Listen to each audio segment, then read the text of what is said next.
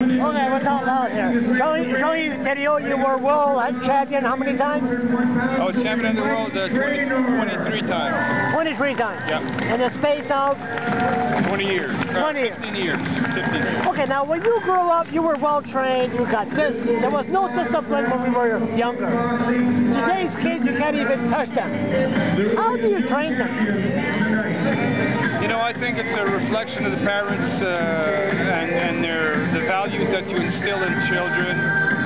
Uh, there, there are so many things that we're not allowed to do now. I know. Because, because children seem to know or, or, or believe that they have rights to, to sort of circumvent parenthood and As a coach, you can't touch them real hard because, I mean, You know, it's a different generation. There's a circle that there, there, people are going back to the old ways. I don't mean to, to strike children. That, that's certainly never, never right.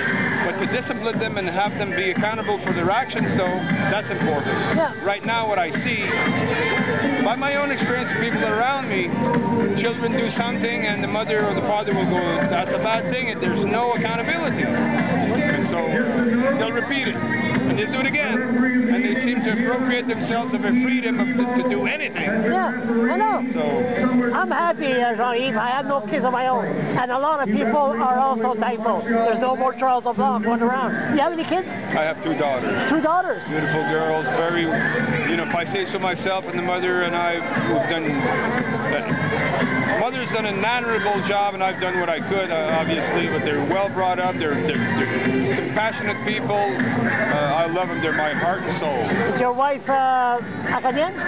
No, No? Or Ontario? yeah, from Ontario. Yeah. So you had uh, your career is incredible. Did they put you in the Sport Hall of Fame, New Brunswick? Of course they did. and uh, the Professional Sports Hall of Fame, Black Belt Hall of Fame, and all sorts of all sorts of things. And, you know, they're honors for me. They're, people are very generous in recognition and recognizing what I've done. Of course.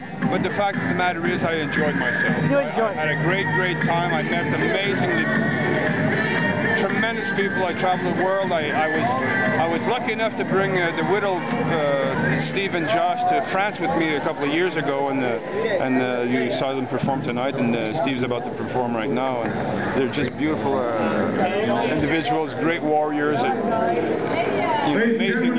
One question, last question. Was there any steroid, steroid involved uh, 20 years ago in your, in your, I mean, I'm not talking about you, I'm talking about general. Not that I know of. Now you know what? Uh, in the martial arts, there may be some, probably now in MMA. But uh, in kickboxing, there's no use, and for steroids, it doesn't make you better. No, it doesn't. Huh? No, it just makes you more stupid because you're going to take more punches. no, thank you. All right.